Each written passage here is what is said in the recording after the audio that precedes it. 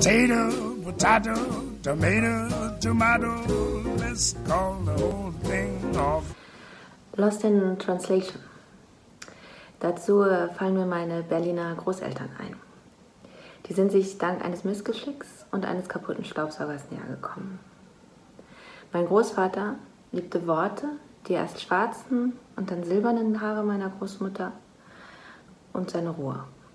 1937 schrieb er ihr und sie schrieb zurück. K. Mein liebes verehrtes Fräulein, sehen Sie nur, in tiefer Zerknirschung winde ich mich vor Ihnen auf dem Teppich. Ich nehme an, bei Ihnen wird regelmäßig gesaugt. C. Die Pralinen waren gut. Wie dürfte ich sie da länger im Staube liegen lassen? Unser Staubsauger ist zur Reparatur. Später sprach mein Großvater mir seine Herzstücke aufs Band, las sie mir vor oder rezitierte sie.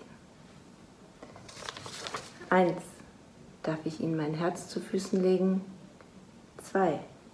Wenn Sie mir meinen Fußboden dabei nicht schmutzig machen.